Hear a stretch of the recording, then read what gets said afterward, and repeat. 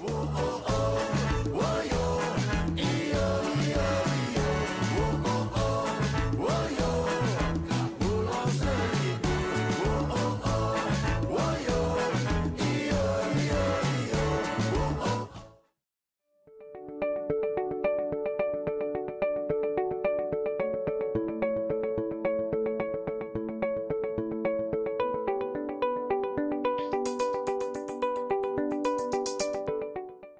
Anggota Dewan Perwakilan Daerah atau DPD RI Subwilayah Barat 2, Fahira Idris, melakukan kunjungan kerja atau kunker ke Kelurahan Pulau Untung Jawa, Kecamatan Kepulauan Seribu Selatan untuk menyerap aspirasi warga setempat.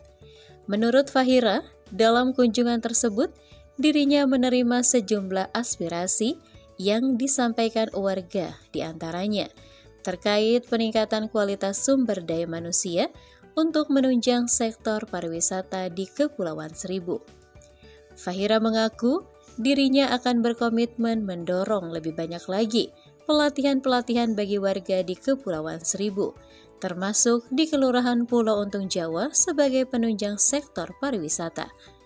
Menanggapi hal ini, Wakil Bupati Kepulauan Seribu Muhammad Fajar Kurniawan menyampaikan terima kasih kepada Fahira yang telah menyerap dan akan memperjuangkan aspirasi warga. Bismillahirrahmanirrahim. Assalamualaikum warahmatullahi wabarakatuh. Saya hari ini sangat berbahagia, sangat berbahagia karena saya bisa bertemu langsung dengan Pak Wakil Bupati, tadi ada Pak Camat, Pak Lurah dan seluruh uh, tiga, tiga pilar ya sangat banyak aspirasi yang kita tampung tadi. Saya sudah mencatat ada 16 poin ya. Dan 16 poin inilah yang menurut saya akan saya jadikan ladang ibadah saya untuk saya perjuangkan ya terkait banyak ada tadi regulasi dan sebagainya. Mudah-mudahan mudah-mudahan kehadiran saya itu tidak sia-sia di Pulau.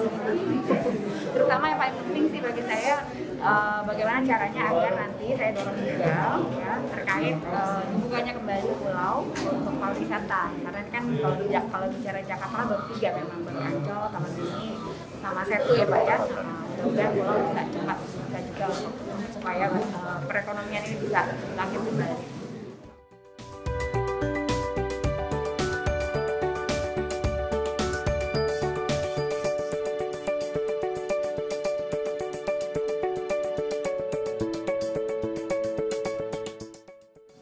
Kasih tentunya pada kesempatan pagi yang berbahagia ini saya ucapkan terima kasih yang tak ternilai kehadiran beliau pastilah mewarnai merubah apa yang memang jadi kebutuhan dari warga masyarakat pulau ini sendiri.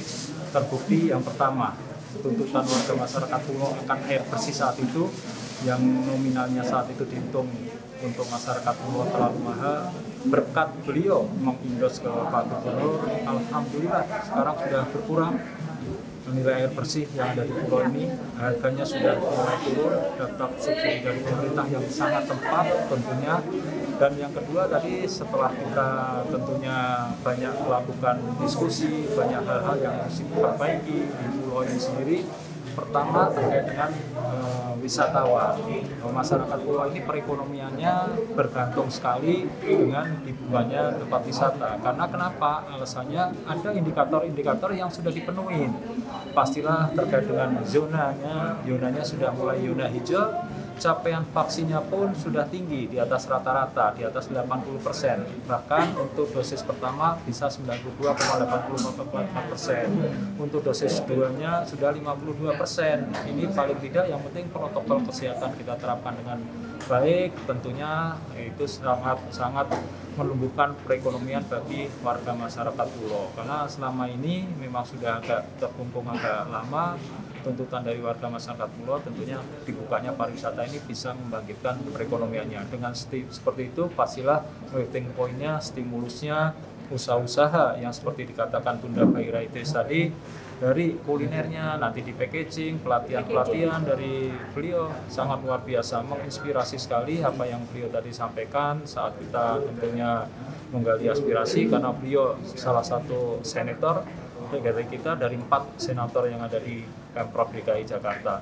Dan kunjungan ini saya berharap tidak hanya sekali nih dilakukan, tentunya next ke depan apa yang sudah kita bicarakan, progresnya seperti apa, tentunya pastilah nanti bisa tentunya capaian-capaiannya bisa kita harapkan. Dan ini semua muaranya pastilah untuk kesejahteraan warga masyarakat pulau. Bahkan dari SKPD, Pak Dokter pun juga seperti itu kebutuhan awal vital dari masyarakat adalah hal kesehatan dan pendidikan.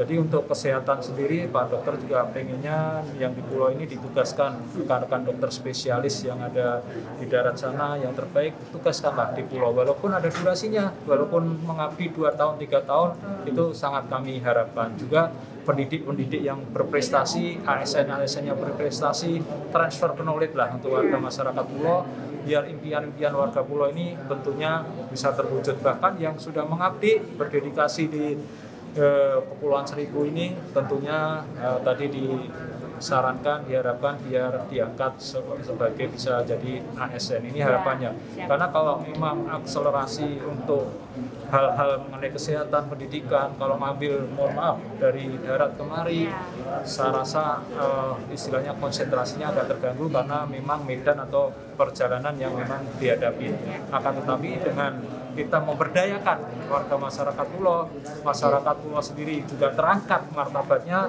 dan juga itu sangat dibutuhkan tentunya untuk kepentingan kita semua. Barangkali itu terima kasih tentunya.